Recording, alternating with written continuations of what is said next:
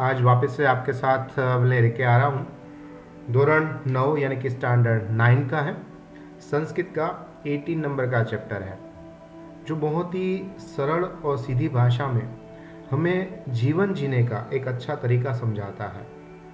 और चैप्टर का नाम भी ऐसा ही है कि गुफानी वाणी में क्यारे सांभली न थी, संस्कृत में लिखा है बिल्वस्वाणी न कदापि में श्रुतवा आप पाठ प्रसिद्ध नीति ग्रंथ जिसको हम पंचतंत्र के नाम से जानते हैं, उसमें से लिया गया है। पंचतंत्र जो है, उसको लिखने वाले पंडित विष्णु शर्मा थे। एंड पंडित विष्णु शर्मा के बारे में हमें चैप्टर में भी ऊपर की साइड में बताया गया है कि संस्कृत साहित्य ने अनुपम कृति मानवा विश्व अंदर जानीता अनेक जो ग्रंथ बने हैं, उस ग्रंथ के अंदर, विश्व में हर जगह पर, हर देश के अंदर, हर जगह पर अगर कोई बुक आपको दिखाई देती है तो उसका नाम है पंचतंत्र पंचतंत्र ना करता पंडित विष्णु शर्मा छे उसकी अमर शक्ति आज का जो हमारी कहानी है उसके अंदर बताई गई है उसके अंदर छह प्रकार की अलग अलग बातें भी हमें सुनने मिलती है उसमें एक है मित्र भेद मित्र भेद के अंदर बेशियाल बंधुओं सिंह અને બળદ એની મિત્રતાનો ભેદ એક ફાટ ફૂટને લીધે होता है इसका खूबसूरत सा वर्णन है दूसरा है मित्र सांप्रति। उसके अंदर कागड़ा उंदर हरण कछुए मतलब का, काचबानी वार्तो है काकुलिकियम उसके अंदर कागड़ा और घुवड़ की स्वाभाविक वेर भावना के बारे में बताया गया है।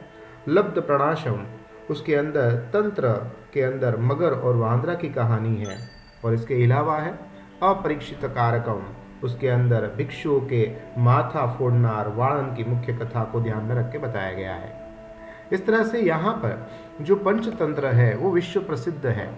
और मगध राजा की राजधानी पाटलिपुत्र के अंदर, सत्यव्रत नाम के राजा के राज्य के समय के अंदर, बहुत सारी बातें इस पंचतंत्र के अंदर विष्णु शर्मा ने रख दी है। उसमें से एक है आज की हमारी कहानी, जिसका नाम है बिल्वस्वाणी न कदापि में श्रुतवा। पंचतंत्र के अंदर ज़्यादातर पशु पक्षी की कथा बहुत ही मनोरंजक होती है। और उसके द्वारा हमें बहुत ही अच्छी बातें बताती है। पंचतंत्र की रचना करीबन ईस्वी सन वन हंड्रेड यानी कि एक सौ से लेकर पाँच सौ शताब्दी के अंदर मानी जाती है और अन्य देशों के अंदर भी इस भाषा का बहुत ही अच्छी तरह से अनुवाद किया गया है। क्या है कहानी? ज़रा यहाँ पर ध्यान से समझते हैं। कस्मिनच्चम वने खर न खर नाम सिंह प्रतिवसती स्म। यहाँ पर उसका ट्रांसलेशन भी है कि कोई एक वन माँ खर नखर ये जो शेर है, उस शेर का नाम है खर नखर खर। नखर नामनो एक सिंह रहतो हतो प्रति वसती स्मह रहतो हतो। स, जो स होता है, ज़्यादातर पुलिंग के लिए इस्तेमाल होता है, जिसको हम गुजराती के अंदर ते या इंग्लिश में हम ही कहते हैं। अगर लड़की होती है तो वहाँ पर स की जगह सा इस्तेमाल होता है, और उसका मतलब होता है शी। यहाँ पर खर न खर के हिसाब से यहाँ पर ते लगाया गया है दैट इज़ प्रोनाउन जिसको गुजराती में हम सर्वनाम कहते हैं। स, कदाचित, इतस्तत, परिभ्रमण क्षुधार्थ न, किंचिदपि, आहारम अलभत હવે ये जो शेर है, एक बार इधर से उधर भटक रहा था, परिभ्रमण भटक रहा था क्षुधार्थ मतलब भूख के कारण से, पीड़ाए लो उसको आहार नहीं मिला तो इधर से उधर, इधर से उधर भटक रहा था, उसको खाने का कुछ नहीं मिला। और फिर ततः सूर्यास्त समय सूर्य अस्त हो जाता है ऐसे समय में एकाम महती गुहा दृष्टवास अचिंतित शाम का समय हो जाता है अभी तक तो उसको खाना नहीं मिला उसके कारण से वो बेचारा सोचने लगता है भाई आज पूरा दिन का खाना मेरे हाथ में नहीं आया क्या खाऊंगा ऐसे ही પછી સૂર્યાસ્ત આથમવાની વેળાએ એક મોટી ગુફા जिसको गुजराती में दर भी कहते हैं जिसको इंग्लिश में कहते हैं डैन उसको देखा उसने और तेने विचार्યું કે ખરેખર યહાં પર શું ગાય નૂનમ મતલબ ખરેખર एतस्याम गुहायाम रातो कोपी जीव आगछति यहाँ पर है, नूनम मतलब खरेखर एक आज गुफा है, उसमें रात के समय ज़रूर कोई प्राणी आके रहेगा। आगछस्ति तत, एत, इस तरह से, अत्रेव निगुडोह भूतवा तिष्ठाति इव। आती हूँ, अहीं छुपाईने जो भी प्राणी आएगा, जो भी पशु आएगा, उसको खाकर मैं अपना पेट भर सकता हूँ। इस तरह से कहानी कुछ प्रकार से जा रही है कि खूबसूरत सा जंगल है और जंगल के अंदर जंगलों का राजा शेर रहता है। शेर का नाम है खरनखर और वो पूरा दिन इधर से उधर घूम रहा है, परंतु तो उसको खाने में कुछ नहीं मिलता है। तो आखिरकार शाम का समय हो जाता है। बड़ी सी उसने गुफा, एक डैन उसने देखी, उसको देखकर वो सोच में पड़ जाता है कि ज़रूर इस गुफा के अंदर कोई ना कोई जीव, कोई ना कोई प्राणी आके रहता होगा। तो क्यों ना मैं इसके अंदर छुपके से रहता हूँ? और जब भी वो शाम को आएगा तो मैं उसको खाकर अपना आज का जो पेट भरने का कार्य है, वो संपन्न कर सकता हूँ। इस तरह से शेर जो है, वो उस गुफा के अंदर जाके बस जाता है। एतस्तीन अंतरे गुहायाम स्वामी दधिपुच्छ नाम शुगाल समागछत अब ये जो है वो है शुगाल यानी कि शियाल ये जो गुफा का मालिक था वो और कोई नहीं परंतु एक शियाल था और शियाल का नाम था दधिपुच्छ એટલામાં ગુફાનો માલિક यहाँ पर लिखा है स्वामी आप स्वामी भी ट्रांसलेशन में लिख सकते हो ગુફાનો માલિક જે છે શિયાળ ત્યાં આવી પહોંચ્યો स च यावत पश्यति उसने आकर पश्यति मतलब देखना दृश्यति मतलब देखना जुए छे तावत यावत तावत जो तो के हिसाब से हम इस्तेमाल करते हैं सिंह पद पद्धति ही यानी कि सिंहना पगलाना निशान। उसने देखा कि उसकी जो बड़ी सी डैन है, ये डैन यानी कि ये जो गुफा है, उस गुफा का मालिक तो मैं हूँ। तो इस गुफा के अंदर शेर के पाँव के निशान, गुहायाम प्रविष्टया, गुफा के अंदर प्रवेश होते हुए दिखाई दे रहे हैं। न च बहिरागता पश्यत, बाहर आवता नहीं देखाता। इसलिए शुगाल अचिंतत આથી શિયાળે વિચાર્યું કે ઓહો વિનસ્પતિ અરે અબ તો મેં મરા હું તો મર્યો નૂનમ એકસ્મિન બિલે હે સિંહ એતસ્થિંતર ક્યામી ખરેખર આ જે દર યાની કે આ ગુફા છે એમાં સિંહ છે એવું મારું ધારવું છે એવું મારું માનવું છે તો તત કી કરણ્યામ હવે હું શું કરું એવ હિ દુરસ્થ રવમ કુર્તતા રવ મતલબ બધા આવાસ ऐसा सोच कर આવું વિચારી અને તેણે દૂર રહી અને આવાજ કરવા લાગ્યો वो गुफा को बता रहा है लोमड़ी जो होती है शिया जिसको हम फॉक्स कहते हैं बहुत ही चतुर चालाक प्राणी में माना जाता है इसलिए तुरंत ही उसने उसका सॉल्यूशन निकाला उसने फाइनल किया कि मैं दूर खड़ा रहता हूँ चलो ट्राई करते हैं कि शायद बुद्धि यहाँ पर काम आ जाए क्योंकि शेर के सामने लड़के तो जीत नहीं सकते पर हाँ अगर बुद्धि है तो कभी कभी मुश्किल का सॉल्यूशन ज़रूर निकल सकता है सो so, वो वहाँ पर दूर खड़ा रहता है। रवम मतलब आवाज़ कर तुरब धाम मतलब करना शुरू कर देता है। भो बिलह वो कहता है कि हे दर यानी गुफा ओ दरह किम न स्मरती? क्या तुम्हें याद नहीं है?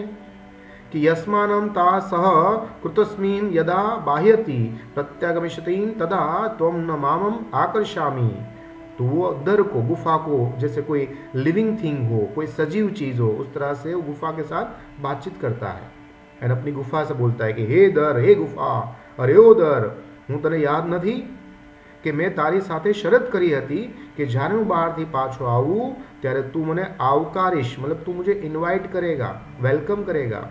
यदि त्वा माम न आहयशति जो तुमने नहीं बोलावे, तरही तो अहम द्वितीय विल्लम यासमिन इति ही। तो बिजा दरमा में कोई दूसरी गुफा में चला जाऊँगा।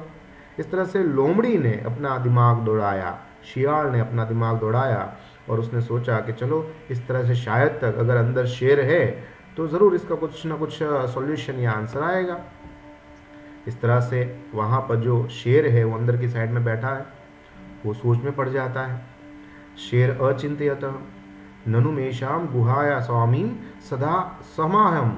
કરોતી ही મને લાગે છે કે આ સિંહ જે છે એ ખરેખર આ ગુફાને हमेशा जो है गुफा उसको बुलाती होगी अपने मालिक को यानी कि लोमड़ी को बुलाती होगी अब यहाँ पर ये बुला नहीं रही है क्योंकि मैं अंदर आ चुका हूँ अब क्या करें तदा अहम आवेशम करूँगी अब इसके लिए मुझे इस गुफा का बदले मुझे ही उसका आह्वान करना पड़ेगा तो इस तरह से देखो लोमड़ी जोर से बोल रही है गुफा को ये डर है और ये पाँव के निशान आपको दिख रहे हैं તો આ સાંભળીને શેરે વિચાર કર્યો કે ખરેખર આ ગુફા સદા પોતાના માલિકને આવકારે છે. પરંતુ શાયદ મારી બીકે એ કંઈ બોલતી નથી ગુફા, યાની કે ડેમ. તો હું આને બોલાવું અને આ પ્રમાણે દરમાંથી, યાની કે ગુફામાંથી પ્રવેશી અને શાયદ હું અંદર આ જાય તો મેં ઉસકા ભોજન કર લૂંગા. इस તરહ સે શેરને ने सोच सुन लिया और तुरंत ही शेर ने वो जो लोमड़ी है उसको बुलाने का सहसा शुगाल आह्वान करोती। और सिंह से उच्च गर्जना प्रतिध्वनिम और इस तरह से ज़ोर ज़ोर से आवाज़ करने लगा। और शेर की गर्जना सुनते ही ऊँचे ऊँचे साथ से शियार ने बोला वाला लगे कि अंदर आ जाओ, अंदर आ जाओ, अंदर आ जाओ।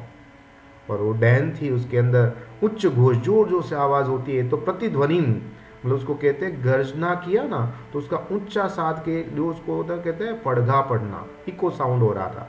और उसके कारण से जंगल के अंदर जो दूसरे भी जानवर थे, वो उसको सुनते भयभीत हो जाते हैं, डर जाते हैं। और शुगाल भी है, उसने समझ लिया कि हाँ अंदर और कोई नहीं, परंतु शेर महाराज है और वो मुझे बुला रहे हैं और इस तरह से अब तो अंदर जाना मतलब मौत को दावत देना है। ले शियाल ने त्याथी दूर भागने लगा और भागते भागते उसने एक शेर को एडवाइस दी और एक हमें एडवाइस दी, क्या? कि अनागतम य कुरुतम न शोभते। स सोचते यो न करुत्युनागतम वनोत्र संस्ततम समागतम जराहा બિલ્વસ્વાણી ન કદાપી મેં શુત્વા कि जो न आवनार करे छे ते शोभे छे जो मतलब आपको आता है अगर आप करते हो तो अच्छी बात है परंतु जो चीज़ आपको आता ही नहीं है और फिर भी आप करने की कोशिश करो तो फिर आपको शो की मनाना पड़ेगा इस तरह से लोमड़ी ने कहा कि मैं तो काफ़ी समय से इस वन में रहता हूँ परंतु मैंने कभी गुफा को इस तरह से बोलते हुए मैंने सुना नहीं है। इस तरह से जंगल का राजा भले बहादुर हो, ताकतवर हो, शक्तिशाली हो, परंतु हाँ जहाँ पर बुद्धि होती है, वहाँ पर शक्ति काम आती नहीं है। इसलिए मुहावरा है ना कि अकल बड़ी या भैंस तो हाँ उसमें अकल ही बड़ी होती है, क्योंकि जहाँ पर अकल होती है तो वहाँ पर बहुत बड़ी बड़ी हम भैंसों को भी कंट्रोल कर सकते हैं। आगे हम यहाँ पर देखेंगे टिप्पणी के अंदर जिसमें आपको समानार्थी शब्द मीनिंग्स दिए हुए हैं। खर न खर, वो एक शेर का नाम था। शुद्धार्थ मतलब भूख थी, पीड़ाया हुआ। आप वन वर्ड में आंसर लिख सकते हो। दैट इज़ भूख्यो। जीव मतलब प्राणी को कहते हैं, जीव को कहते हैं। निगुड़ यानी कि संतायलो या छुपायलो दधिपुच्छ, यहाँ पर लोमड़ी का नाम दधिपुच्छ था। शुगाल, यानी कि शियाल। रव, ध्वनि या फिर आवाज़ को कहते हैं। और समय यहाँ पर समय के हिसाब से नहीं लिया गया है। यहाँ पर समय का मतलब होता है शरत या फिर नियम। अब कुछ स्त्रीलिंग शब्द है। गुहा, यानी कि गुफा। सिंह पद पद्धति ही, सीना, पगलानी, यानी कि छापनी, निशानी। प्रतिध्वनि, जिसको मैंने बताया था इको साउंड यानी कि पड़घा। झरा मतलब वृद्धावस्था गड़पड़ को कहते हैं, बुढ़ापा को कहते हैं। नाउ नपुसकलिंग है वर्ड दैट इज़ बिल्वम तो वो है दरह मतलब गुफा को कहेंगे, और भयम दैट इज़ भय, यानी कि डर को कहते हैं। आप खास कर ऑब्जर्वेशन करो कि पुलिंग जो होता है ना, उसमें हर एक वर्ड के पीछे डबल डॉट यानी कि विसर्ग लगाया जाता है। तो पुलिंग की हमेशा शब्दों की निशानी होती है कि उसमें ज़्यादातर विसर्ग लगता है। स्त्रीलिंग की खास कर निशानी होती है जैसे आकारांत, इकारांत से ज़्यादातर एंडिंग होता है, और उसको भी विसर्ग होता है, पर अकारांत, आकारांत जो है, वो ज़्यादातर इसमें लगता है, जबकि इसमें इकारांत लगता है। आप यहाँ पर देख सकते हो। और नपुसकलिंग में खास कर होता है हलंत वाला म, जिसको गुजराती में कहे खोड़ो म, या फिर म की जगह रिप्लेस करके बिंदी भी आप लगा सकते हो। तो ये हमारे थे कुछ मीनिंग्स आगे के साइड में है समास। शुद्धार्थ क्षुध या आर्त, ये तृतीय तत्पुरुष का समास है। जब या से डिजॉइन हुआ, यानी कि ये तृतीय तत्पुरुष का है। क्षुधा मतलब होता है भूख। और आकारांत होता है तो उसमें डंडी हटा के आपको या लगाना पड़ता है। दैट इज़ क्षुदया आर्त, तृतीय विभक्ति। तो याद रखिएगा, तृतीय विभक्ति के अंदर, तत्पुरुष समास के अंदर हमेशा जो फ़र्स्ट वर्ड होता है, उसके एंडिंग में हमेशा डंडी हटा के या लगाना पड़ता है, अगर वो आकारांत शब्द है तो। सूर्यास्त समय है, यहाँ पर स्य से डिजॉइन हुआ है तो स्य हमेशा षष्ठी तत्पुरुष में इस्तेमाल होता है, यानी कि छठी विभक्ति में आता है। सिंह पद पद्धति ही। यहाँ पर वापिस से देखो सिंह से इस्तेमाल किया गया है तेन ष्टी तत्पुरुष में है। भय भीता भये न अब यहाँ पर अकारांत शब्द है। आप यहाँ पर देखो आकारांत शब्द था तो यहाँ पर क्षुधा में से या हटाया था। यहाँ पर भय अकारांत है तो उसमें एन या एन लगाया जाता है। तो वो अकारांत के अंदर एन लगाते हैं तो तृतीया, आकारांत के अंदर डंडी हटा के या लगाते हैं तो तृतीया। ठीक है? ना, उसी तरह से हम देखते क्रुदंत। देखो, जब भी एंड में अगर त्वा शब्द लगता है तो हमेशा आपको समझना है कि वो भूत क्रुदंत के अंदर आता है। ठीक है? तो हमेशा आप याद रखें, आगे भी हम क्रुदन केंद्र से ध्यान रखेंगे तो ये जो त्वा होता है, वो संबंध क्रुदन केंद्र शब्द से लिया जाता है। उसी तरह से त्य लगता है तो उसमें भी श के साथ कुछ भी हाफ़ लगे तो वो आपका हमेशा संबंधक रुदन के अंदर रहता है। आगे उसके बारे में डिस्कशन करते हैं। जो यहाँ पर बताया गया है कुछ प्रकार से अब आपके एमसीक्यू के अंदर क्वेश्चन पूछे गए हैं। कीदृश सिंह वने इत तत परिभ्रमणम अकरोत। जो शेर था, वन के अंदर किस तरह से घूम रहा था? तो क्षुधार्थ मतलब भूखा घूम रहा था। तृष्णार्थ, प्यासा नहीं था, भय से नहीं था निगुड़ार नहीं था। आगे है, शुगालस्य नाम किम आसित? शुगाल मतलब लोमड़ी। लोमड़ी का नाम क्या था? तो खर न खर तो शेर का नाम था। मदुदमद हाथी का नाम था, पर वो यहाँ पर नहीं है। दधिपुच्छ लोमड़ी का नाम है। और दधिपुच्छ के अंदर जो स्पेलिंग मिस्टेक्स है, उसके कारण से आप देख सकते हो यहाँ पर दधिपुच्छ और यहाँ पर दर्धिपुच्छ लिया गया है। तो इसका राइट आंसर ये आएगा, नहीं कि ये आएगा, क्योंकि यहाँ पर चंद्रबिंदी है। नेक्स्ट है, शुगालस्य गुहायाम का प्रविष्ट। शुगाल की गुफा के अंदर कौन प्रवेश करता है? तो शेर, यानी कि हमारे खर नखर भाई साहब प्रवेश कर चुके हैं। एक वाक्य में संस्कृत में जवाब देना है, सूर्यास्त समय सिंह किम अपश्यत? तो यहाँ पर किम के जगह पर आपको रिप्लेस करना है कि सूर्यास्त समय, ये एज इट इज़ जाएगा, फिर आपको लिखना है एकाम महती गुफा में अपश्यत। एक बड़ी सी गुफा को देखता है। सूर्यास्त के समय शेर ने क्या देखा? तो एकाम महती ग्रूहम यानी कि गुहाम यहाँ पर म है। देखो, हलंत वाला म है तो यहाँ पर उसको रिप्लेस करना होता है। ज़्यादातर क्वेश्चन के हिसाब से हमें यहाँ पर देखना होता है। देखो, यहाँ पर क्या दिया है? कस्य है। तो यहाँ पर आंसर में आया है, सिंहस्य। शुगाल कस्य पद पद्धति अपश्यत तो उसने शेर की पद पद्धति देखी थी। शुगाल से वचनम श्रुत्वा सिंह किम अकरोत? शुगाल से वचनम श्रुत्वा श्रुत्वा सिंह।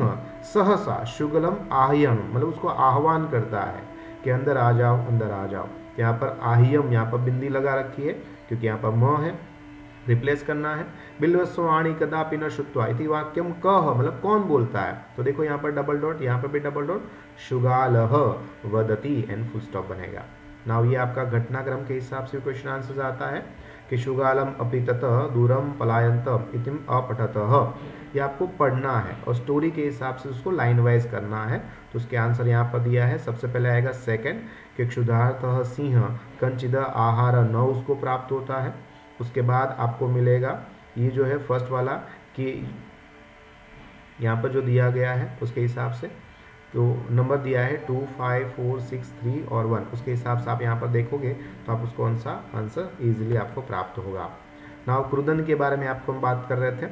अगर त्वा से एंडिंग होता है, त्वा, यानी कि त हाफ़ होता है, वा के साथ तो आप देख सकते हो, दृष्टवा, भूतवा, उसी तरह से यह के साथ अगर कुछ हाफ़ लेटर आता है तो हमेशा संबंधक भूत कुदन के अंदर होता है। आप यह के साथ यहाँ पर श हाफ़ देख रहे हो, यहाँ पर यह के साथ आप त देख रहे हो, यहाँ पर त्वा और यहाँ पर त्वा है।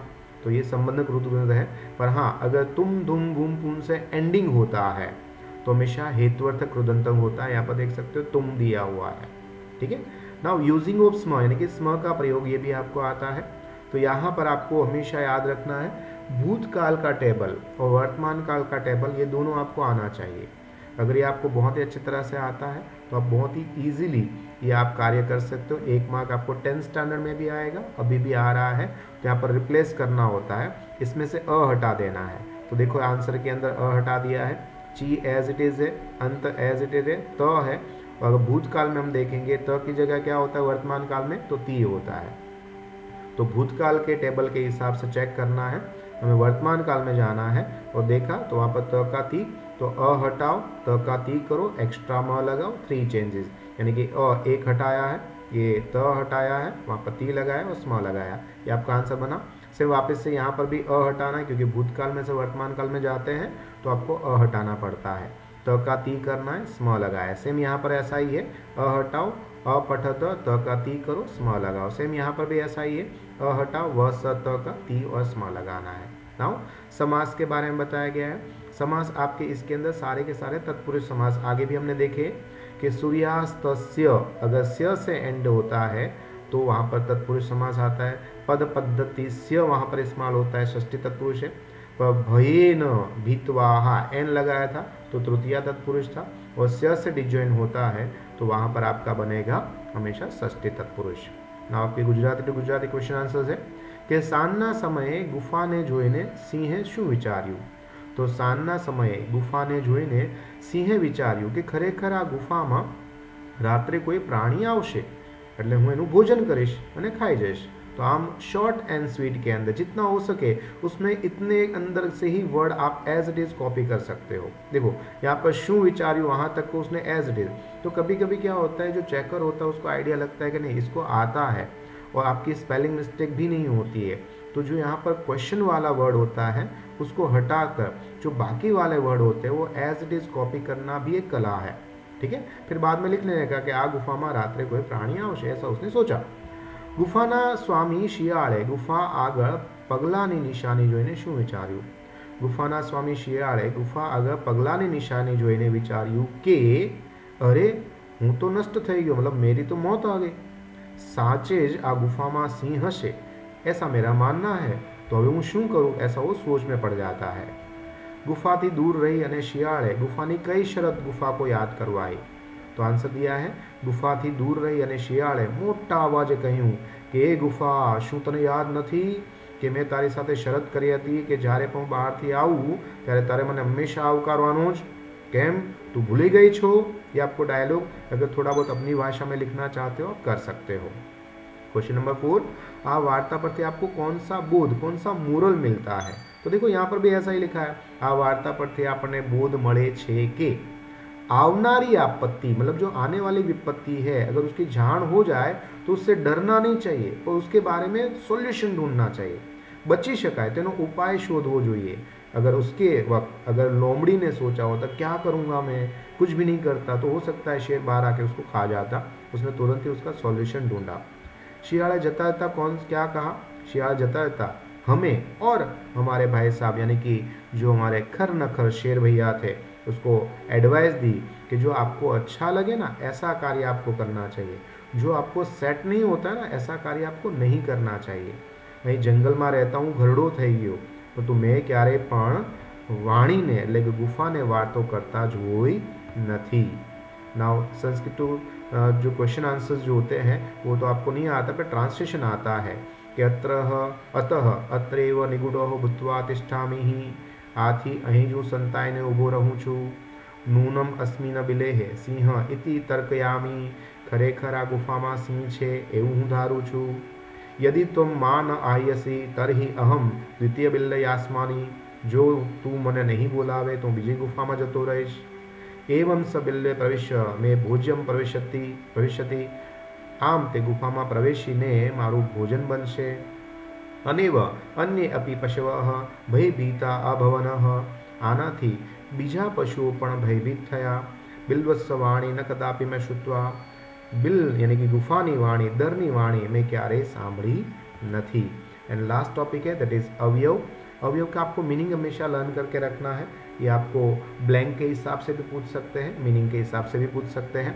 यदा का मतलब होता है जारे तदा का मतलब होता है तेम या ते प्रमाणे। कुत्र मतलब क्या? ये क्वेश्चन वाला वर्ड है। इत मतलब अही थी और सर्वदा मतलब हमेशा। आई विश के मैं आप आज को बहुत अच्छी तरह से ये पूरा का पूरा चैप्टर विथ एक्सरसाइज करवा दिया। अगर आपको कुछ ऐसा लगता है कि कुछ गलतियाँ हो रही है, कुछ समझ में नहीं आ रहा है तो प्लीज़ नीचे कमेंट बॉक्स के अंदर आप अपने ज़रूर क्वेश्चन रखिएगा। हो सकता है कि थोड़ी बहुत मुझसे भी गलती हुई हो तो आप ज़रूर मुझे करेक्ट करने की कोशिश करिएगा। थैंक यू वेरी मच आपका दोस्त, आपका मित्र, आपका सर आपका गुरु, महेंद्र जोशी, आपका आभारी है।